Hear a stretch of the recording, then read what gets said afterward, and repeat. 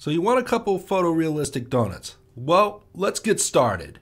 We're gonna right click the cube, delete, shift A, select torus, set the minor radius to 0.025 and the major radius to 0.04. The major segments will be 28.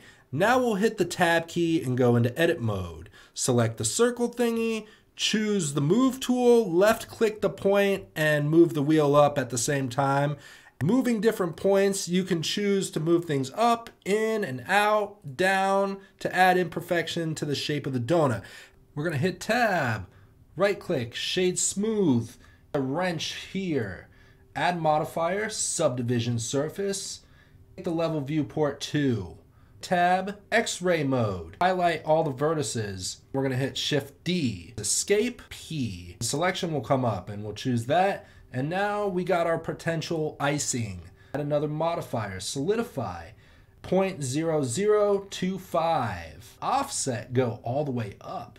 Put solidify before a subdivision. Hit A, right click, subdivide, smoothness to one. We're gonna grab the boomerang there. Then we're gonna hit face, project individual elements, alt, left click vertex, control I to invert, H to hide, and then we're gonna move these points down. Extrude this by hitting E and pulling it down. Hit S if you wanna kind of scale it in. Don't forget to hit Alt H to unhide the vertices. We're gonna go back into solidify and we're gonna do edge data, crease the inners, but we're gonna apply that, solidify and apply subdivision as well apply this subdivision to the torus here. Add in another subdivision surface. Bring the level viewport to 2 again. We're going to apply it. Hit the sculpt tab here. Get the sharp tool. Go around at least twice. Go into object mode. Select the icing. Go back into sculpt mode. Choose the inflate tool. Go along the edge of the drips here and just do one, two, three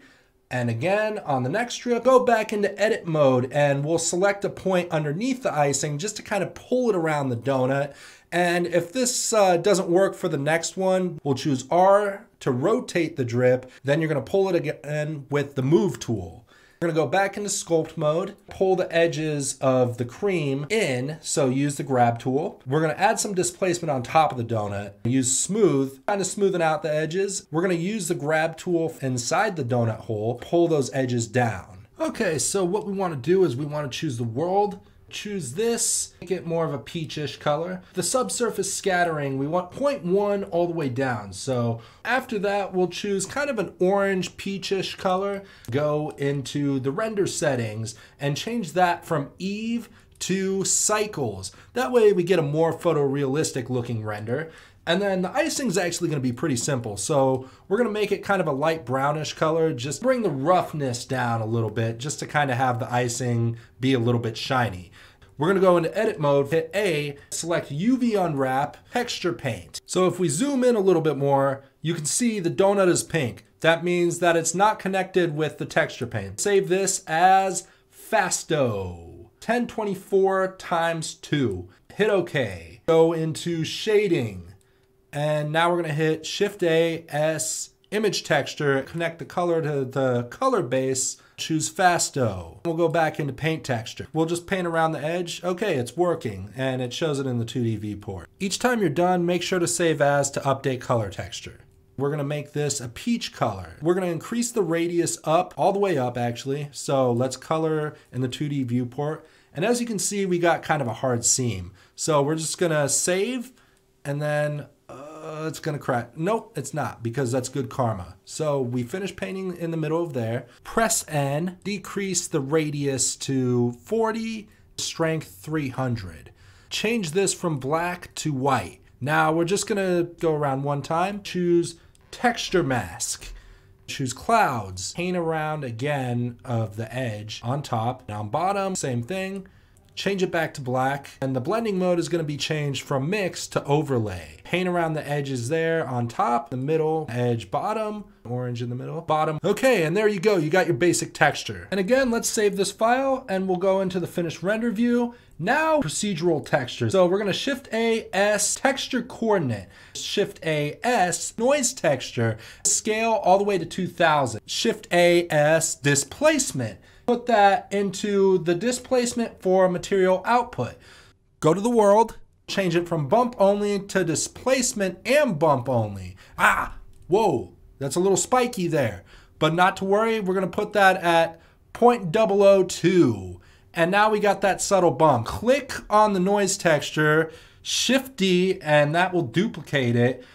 Make the scale be 200 for that one. So we're gonna plug object into the vector again. Choose mix RGB, change the mix to add. Color ramp, put it in between the add and the noise texture node. Plug the noise texture into color 2. Do a switcheroo with these two guys. Bring that halfway up. Grab the add texture here and then I'm gonna move it upwards and search for another mix RGB. Place that in between the image texture and our Principled BSDF texture. Make this one an orange color.